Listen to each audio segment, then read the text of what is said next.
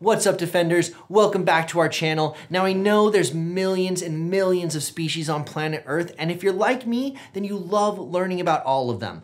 Luckily enough, scientists have broken down all the animals into special groups and today we made this video to help teach you guys what makes a bird a bird. All birds have feathers. Feathers protect a bird's body from water and from cold temperatures. When feathers get old or damaged, they fall out and are replaced by new ones. All birds have wings, but not all of them fly.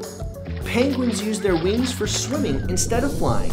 And the emu has such small wings, they are too heavy to get off the ground. Birds lay eggs, Though they can vary in size and color, all birds lay eggs in order to have babies. And the most exciting thing about birds is that they are real life dinosaurs.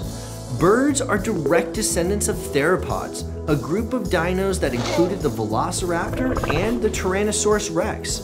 So, when you look at a chicken, you're really looking at a T-Rex's great great great great great great great great great great great granddaughter.